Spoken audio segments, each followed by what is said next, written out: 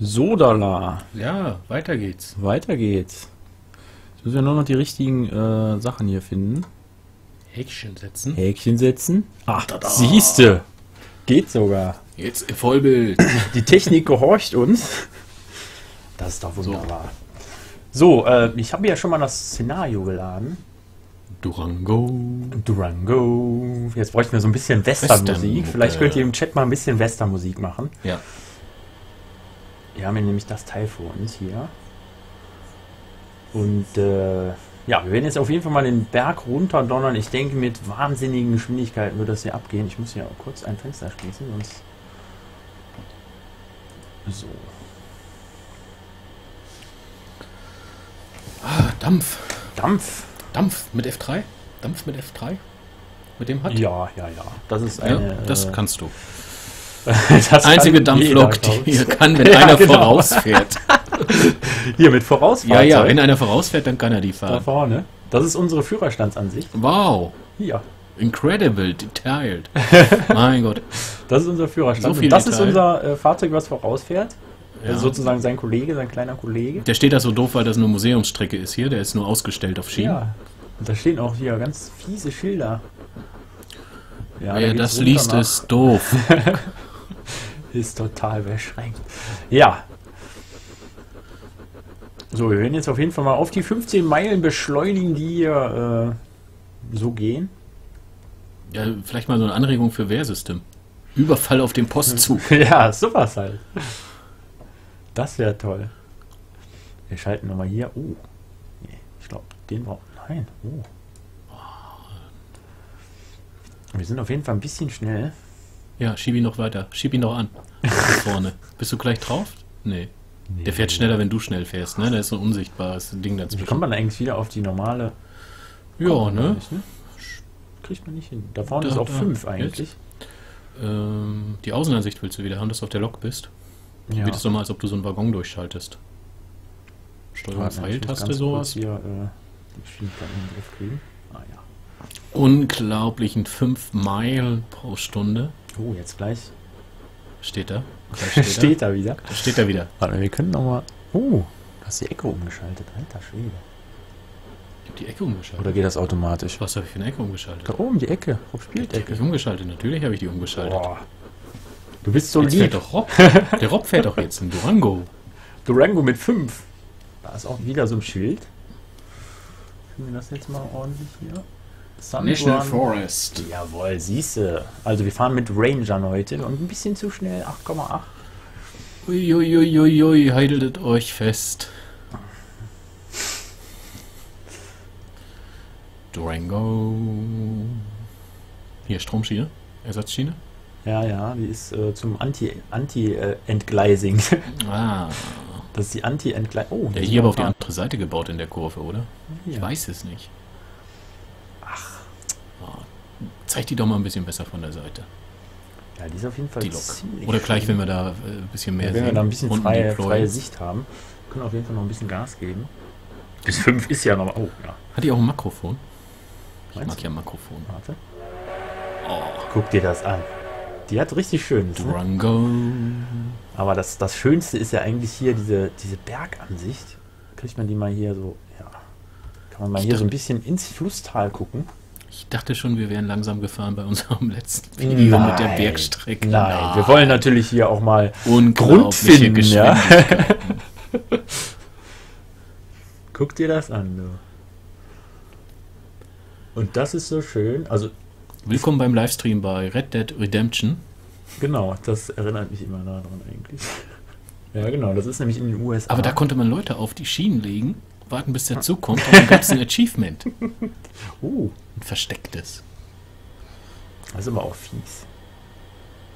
Ja, die hat auf jeden Fall hier ein sehr schönes Triebgeschoss. Ja, auch die Gewichte, ne? die Gegengewichte da. Ja. Schön. Können wir mal eine kleine Studie machen? Die sieht so ähnlich aus wie die Lok bei Zurück in der Zukunft Teil 3. Ja. So ähnlich. Ja, genau. Ja. Die der nachher umbaut, ne? Wo wir hinfahren, brauchen wir keine Schienen. Die könnten wir eigentlich auch mal in den Abgrund stürzen lassen. Aber ein bisschen schneller können wir auf jeden Fall fahren, glaube ich. Ja? Ich weiß nicht genau. fahren mal einfach 10. So doppelte Ja. Geschwindigkeit. Wird schon schief gehen. Die Indianer fallen auch hier meistens äh, Ja, so die vom springen Berg auf. Die springen auf bei dem Tempo.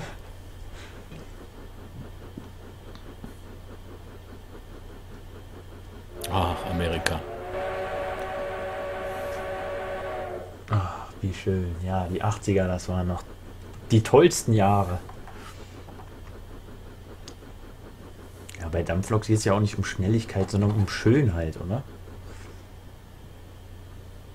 Oder nicht? Naja. Hatten wir nicht irgendwie noch einen Highspeed-Test vor? Ach ja, stimmt. Mehr Dampflok? Muss man auf den inoffiziellen Sendeplan schauen. Inofficial. Alles inofficial. Inofficial. so, zwei Stichwörter. Dominion of Canada. Plain Canada. Könnt ihr jetzt mal raten, Ja, was werden wir das schauen. wird? Vielleicht gibt es heute doch noch ein bisschen mehr Dampf und Qualm als beim letzten Mal.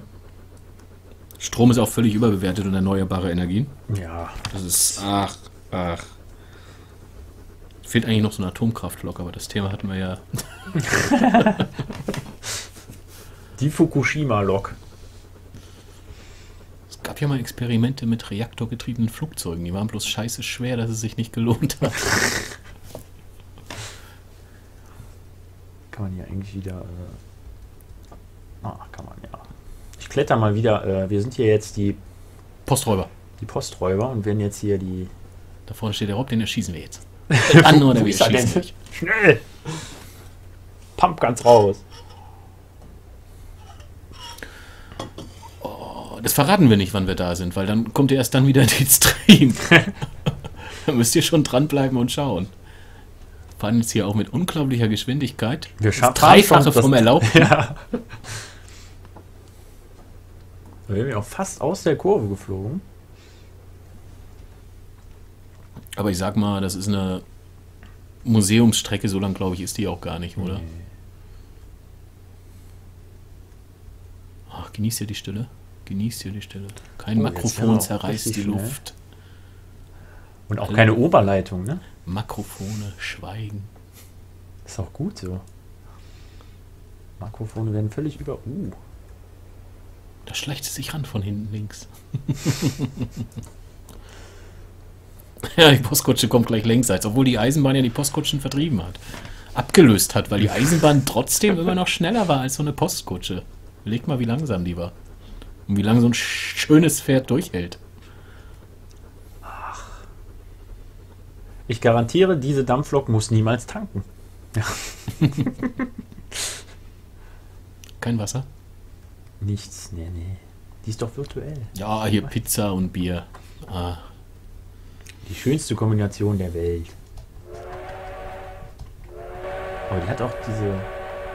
Das Horn von. Äh, der Begleiter fliegt bremsen. Ich glaube, der ist bei uns irgendwie magisch angeschweißt. bisschen leise. Bisschen leise. Bisschen leise, sagt er mal. Müssen wir, musst du, Hier? Nee, müssen wir hier drüben, glaube ich, machen. Oh, hier. So, Ah, jetzt hier, das habt ihr davon. so. Jetzt geht's auf die Ohren.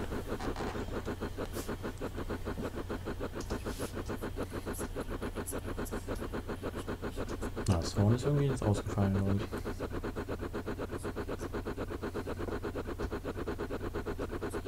ich. Ist wahrscheinlich wieder zu laut. Hm.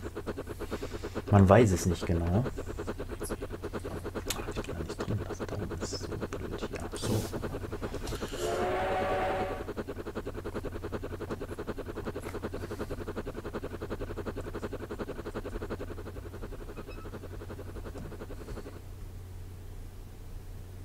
Da unten dürfen wir schon 15 fahren.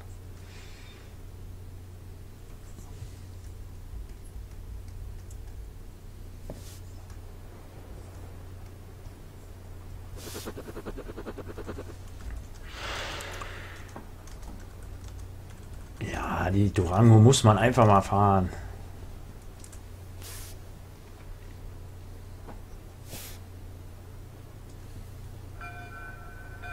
Das ist, das ist immer noch ein bisschen leise.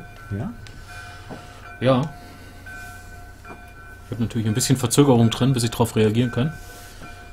Mach den doch noch mal ein Stückchen. Ja, lass probieren wir so. So vielleicht.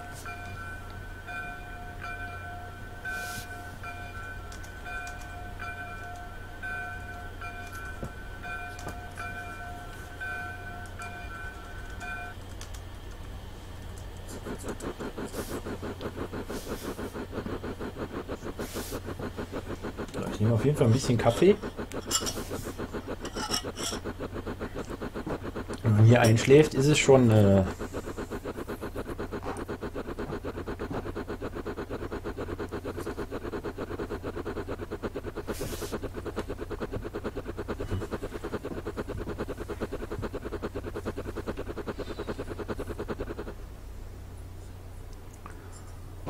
Ja, jetzt passt, die- jetzt passt die Lautstärke.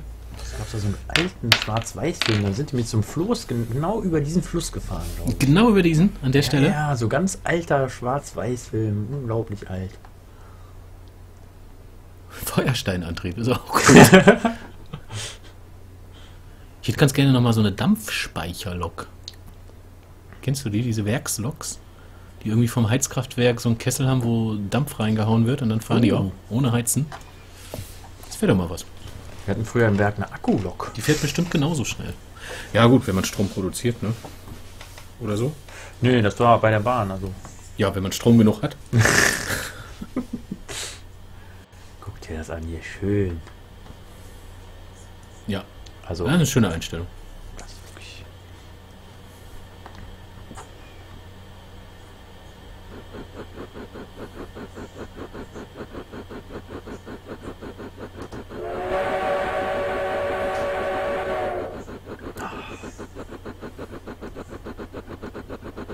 Hier der Panoramawagen, deshalb fährt man hier auch so schön langsam und Ja. gemütlich zum Fotografieren.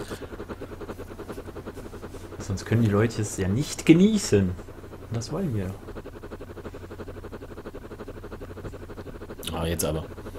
Jetzt. Vielleicht kriegen die sich auch noch, ja? Das ist halt das Spannende an dem ganzen Szenario. Ja, ja. Ob der vordere Wagen von der Lok jetzt noch eingeholt wird, ja?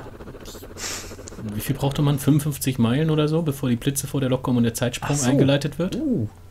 Sollen wir das mal versuchen? Ja. Hier gibt es ein paar Soundbugs auf der Strecke, ne? Eben war so die Lok weg, mal kurz. Das kann sein, ja. Ja, ja. Könnte auch sein, dass wir hier schon entgleisen. Nö. Guck dir das an. Er hält sie tapfer durch.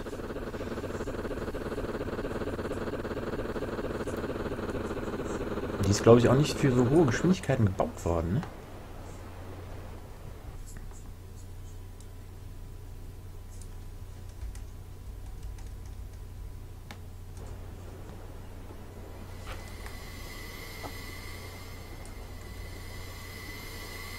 Oh ja, die quietscht auch schon heftigst.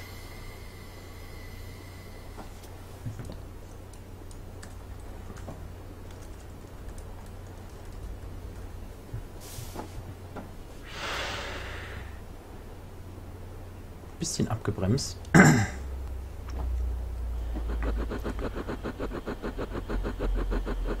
Ah, ja, hier. Das Wasserkraftwerk, 4,5 Megawatt. Für 1905 ist das schon viel, oder? Alter Schwede, so. Die 1905. Pull into Track 1 and Stop. Was will uns das sagen? Da. Wir sollen auf Gleis 1 halten. Ja. Da halte mir.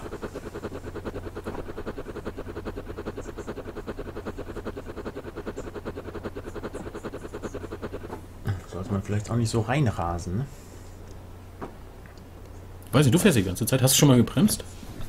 Ich weiß nicht, wie du bremst. Keine Ahnung. Doch, die bremst super. Das ist eine, eine Spitzenbremslok sozusagen. Ich glaube, wir sind ja auch so ziemlich am Ende auf jeden Fall. Schon länger. Ich sowieso. Wie steht's mit dir? Hm? Wir dampfen hier noch rein. Der Gegenzug wartet schon. Der muss hier. Äh, Die haben zwei in dem Museum. Ja. Als Güterzug, nee, ist klar. Die steht auch da nur zur Zierde.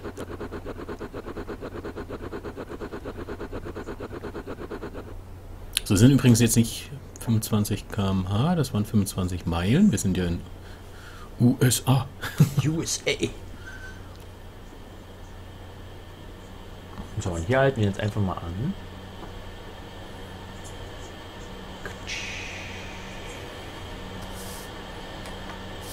So, das war's jetzt eigentlich schon. Das war Durango. Durango and Silverton. Yeah. Geil. So.